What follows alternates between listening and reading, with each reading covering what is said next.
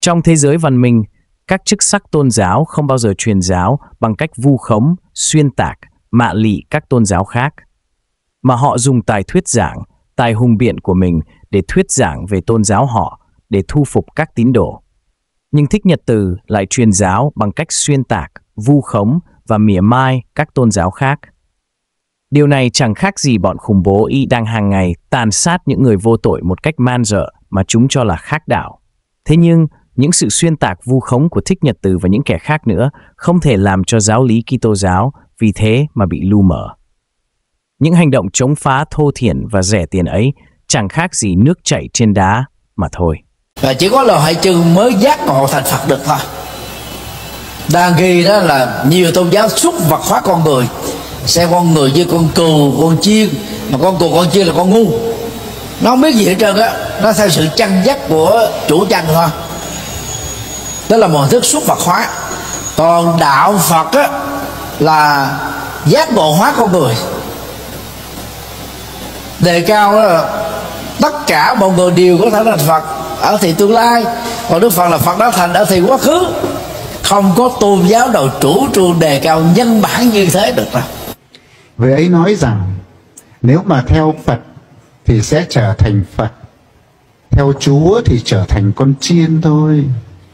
Và sau khi nói điều ấy thì vị sư thầy ấy cười một cách ngạo nghễ. Đối với chúng ta, chúng ta hiểu vấn đề thế nào? Thực sự, ở nước ngoài cũng như ở Việt Nam, có những vị cao tăng đáng kính, có những vị chân tu và những vị ấy khi nói về tôn giáo khác không phải tôn giáo của mình họ rất là trân trọng và những vị ấy là trí thức chân tu và đáng kính trọng nhưng mà xem ra cũng có những vị mà thiếu cẩn trọng khi nói về một tôn giáo khác thậm chí nói về chính tôn giáo của mình vừa qua các cơ quan chức năng đã tít còi và can thiệp khi có một số vị sư áo vàng phát biểu ngược lại với giáo lý nhà Phật, nhất là giáo lý nhân quả. Trong khi đó, quý ông bà và anh chị em em biết giáo lý nhân quả là một giáo lý cốt lõi của đạo Phật. Một trong những giáo lý cốt lõi của đạo Phật.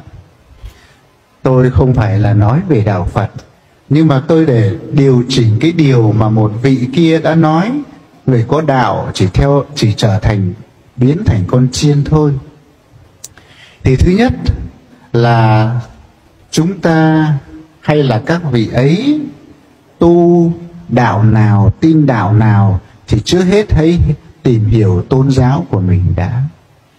Khi nói đến tôn giáo khác, có nguy cơ là nói hàm hồ, nói sai lạc, nói kích động, nói gây chia rẽ tôn giáo. Bởi vì chính tôn giáo của mình mà mình còn chưa rõ, chưa tường, chưa thông, làm sao mình đề cập đến tôn giáo khác được? Vì thế mà mỗi một tôn giáo có hệ thống giáo lý, có một hệ thống triết học. Hệ, như đối với công giáo có hệ thống thần học để suy tư từ 20 thế kỷ để kết tinh thành những tín điều. Trở lại với cái điều mà vị ấy nói, chúng ta theo chúa không phải để thành con chiên. Một người ngớ ngẩn và một người vô học cũng không nghĩ là người theo đạo để thành con chiên, con cừu. Con chiên chỉ là một hình ảnh để sánh ví, nói lên cái sự hợp nhất của giáo hội. Có một chủ chăn và có rất nhiều tín hữu là con chiên. Hình ảnh con chiên nói lên sức mạnh, sự hiệp nhất và liên kết gắn bó với chủ chiến.